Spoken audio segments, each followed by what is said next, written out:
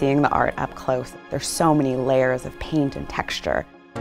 And that's something that you just can't see on a social media post. If you go into the Winnipeg Art Gallery with an open mind, I always learn something and I feel grateful for the experience. When I was young, I took classes here and then I became an art teacher. It's for people of all generations. The content that's in here is representing many different communities. This is a space for everybody.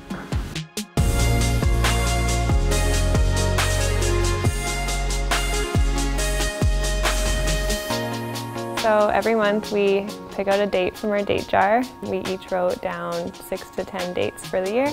And this month it just happened to be the art gallery. I'm on parental leave at the moment. My wife likes to take art classes here and it's a great place to spend an afternoon. We had never been here yet as a family, so I wanted to show the kids uh, just to be able to express themselves in a different way. And you know, they only get so much time in school to do art. Kids are free, uh, so for families, that's always helpful. And if you have a membership, then you can come as often as you like. Didn't know what to expect. As far as price, it, it was right in par with what I thought it would cost. Just everything's been really great here. The second Sunday of every month, our gallery hosts Free Sunday, and so anyone can come into the gallery and experience everything that's going on. Sometimes there'll be tours, guest speakers, crafts that kids can do to kind of be immersed in, in the art. It's one of those places where you put your phone away and fully appreciate what you're looking at. Where you can sit and just be. It's kind of hard to like find somewhere in the city that's actually peaceful and quiet to go and spend your time.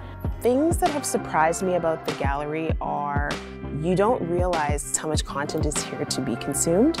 And so you need to give yourself time to make sure you can come and see everything. My first experience at WAG here was, uh, was a great one. Um, it was something outside of my comfort zone and they have a lot of great pieces here and uh, for me I'm kind of a little bit later on in life kind of coming to appreciate art and we were lucky enough to have some good tour guides so it was a lot of fun. I'm a hoodies and hats guy and I play hockey and fish and I feel like I belong at the WAG. We weren't sure if there was a dress code or not, uh, but there isn't. I asked like five times about my outfit before leaving the house. Side note, this hat is from the sneakiest, smartest gift shop in the history of Winnipeg, which is the WAG gift shop. It's amazing. Lots of different souvenirs. There's local artisans in there represented as well.